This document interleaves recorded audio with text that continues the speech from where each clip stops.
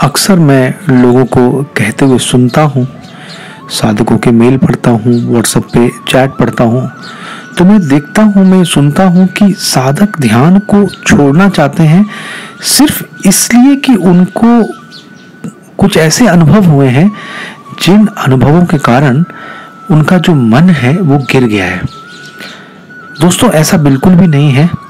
अगर आपको ध्यान के कुछ ऐसे अनुभव होते हैं, कुछ गुप्त अनुभव होते हैं या कुछ इस तरीके के अनुभव होते हैं, जो संकेत हैं इस ब्रह्मांड के, इस ब्रह्मांडी ऊर्जा के तो आपको ध्यान बिल्कुल नहीं छोड़ना चाहिए। अगर आप ध्यान करते हैं तो नीचे ध्यान या मेडिटेशन टाइप कमेंट में करिए। मेडिटेशन साधना टेक्निक्स मैं आशीष आप सभी का स्वागत करता हूँ। दोस्तों, ये पाँच अनुभव हैं जो बहुत गुप्त हैं और लोगों, साधकों को होते हैं। जब ये अनुभव आपको होते हैं, जब इन्हें आप महसूस करते हैं तो अगर ये आपके साथ हो रहे हैं तो आपको किसी भी हाल में ध्यान को छोड़ना नहीं है, बल्कि दुगनी तेज़ी से बढ़ा देना है। अनुभव नंबर एक, प्रकाश का दिखना। अक्सर साधकों को अपने आज्ञा चक्र पे ध्यान में प्रकाश दिखता है। किसी को वायलेट कलर दिखता है, किसी को येलो किसी को वाइट अलग अलग प्रकार होते हैं।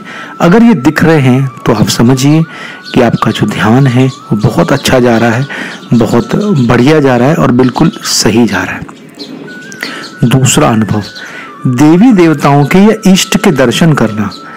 ये एक बहुत अच्छा संकेत है कि अगर ध्यान में देवी देवताओं के या इष्ट के दर्शन होते हैं, आप समझिए कि आप बहुत पुण्यवान हैं, बहुत भाग्यशाली हैं कि आप देवी देवताओं के दर्शन उसमें प्राप्त कर पाते हैं। अगर ऐसा भी हो तो भी आपको ध्यान बिल्कुल नहीं छोड़ना चाहिए। तीसरा ये अनुभव जो है ब्रह्मुहूर्त में होता है या संध्या काल पे होता है, ऐसा देखा गया है। हालाँकि हो कभी भी सकता है, लेकिन ब्रह्मुहूर्त और संध्या काल में इसके चांस बहुत ज़्यादा होते हैं। मीठी मीठी चंदन सी गुलाब की सुगंध आना। अगर आपको फूलों की, गुलाब की, चंदन की सुगंध महसूस होती है तो आपको ध्यान बिल्कुल नहीं छोड़ना चाहिए।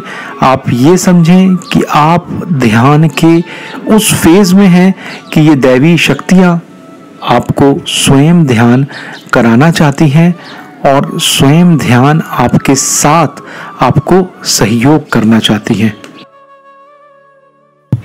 नाद नाद सुनाई पड़ना। ये एक बहुत उच्च अवस्था होती है जब एक साधक ध्यान में आगे बढ़ता है तो उसे नाद सुनाई पड़ते हैं। किसी को डमरू सुनाई पड़ता है, किसी को नगाड़ा सुनाई पड़ता है और उसका एक अंतिम लेवल होता है बांसुरी का, वो सुनाई पड़ती है। तो अगर आपको नाद सुनाई पड़ रहे हैं तो आप समझिए कि आप ध्यान की उत्कृष्ट अवस्था की ओर धीरे धीरे जा रहे हैं और आप ध्यान के लिए ही बने हैं। और एक पांचवा अनुभव जो साधकों को होता है और साधक उसे समझ नहीं पाते। साधक को लगता है कि वो डिप्रेशन में है या वो डिप्रेशन की तरफ़ जा रहे हैं।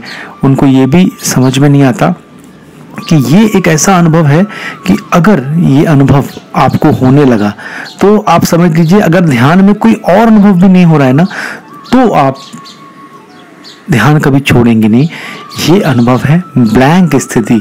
मतलब न सुख में सुख मिलेगा, न दुख में दुख मिलेगा। दोनों स्थिति में, उस तुरीय अवस्था में ऐसी स्थिति आपकी होगी कि आप ध्यान करते जाएँगे करते जाएँगे और ब्लैंकनेस आपकी बढ़ती जाएगी। जब ये ब्लैंकनेस ये खालीपन, ये निराकार स्वरूप बढ़ता जाएगा तो आप समझिए कि आप ध्यान की उत्कृष्ट अवस्था की ओर जा रहे हैं और आप ध्यान करने के लिए ही बने हैं। मेडिटेशन, ध्यान साधना टेक्निक आपके अपने चैनल में आपका स्वागत है। हमारे चैनल को सब्सक्राइब करें, बेल आइकन को क्लिक करें, जिससे हमारे वीडियो का नोटिफिकेशन आपको तुरंत मिल जाएगा। हमारे वीडियोस को अधिक से अधिक शेयर करें और हमारे मिशन को सफल बनाएँ।